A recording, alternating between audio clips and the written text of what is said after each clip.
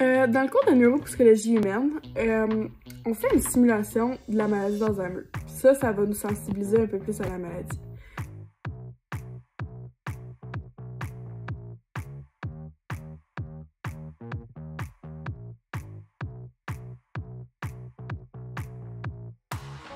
Fait que pour la simulation, il va falloir que je fasse plusieurs activités avec euh, mon costume d'Alzheimer. Puis je vais vous montrer un peu comment s'est déroulé quelques activités.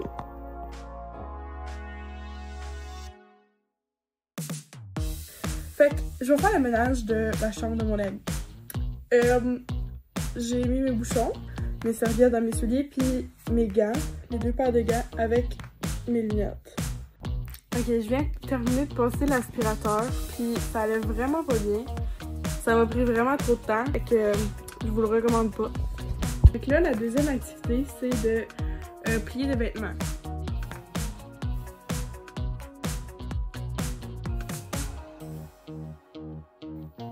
Ça, c'est assez compliqué. C'est plus compliqué un peu de passer l'aspirateur. Ok, fait qu'une des activités, c'était de dresser la table pour euh, manger le souper, puis après de laver la vaisselle utilisée puis la ranger. Ok, fait que là, j'essayais de euh, essuyer ma vaisselle.